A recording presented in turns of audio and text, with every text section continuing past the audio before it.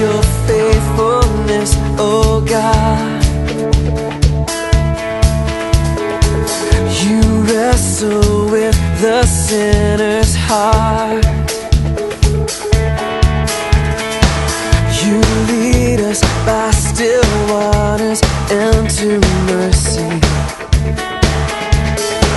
And nothing can keep us apart.